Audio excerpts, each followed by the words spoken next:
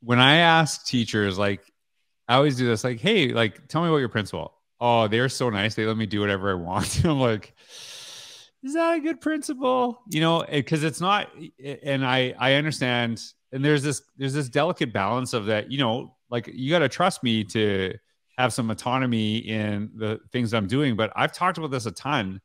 If that leader is not actually helping you grow and get better, then what is the benefit? And like, what do you, what do you, when you hear that, like, what do you think when somebody would say that to you? Because that kind of throws me off a little bit. I'm like, I don't know if that's really a great principle because you can do whatever you want, but what, what does whatever you want look like, I guess?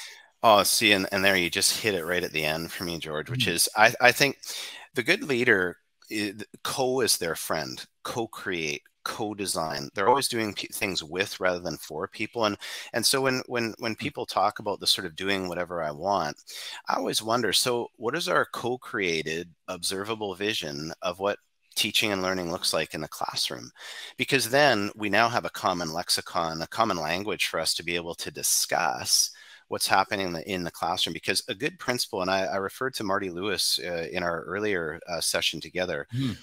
Marty's gift was also, and I think the number one thing that leaders need to do is to be able to confront and interrogate practice, whether it's our assessment practices, our teaching practices, our leadership practices, our practices with community engagement.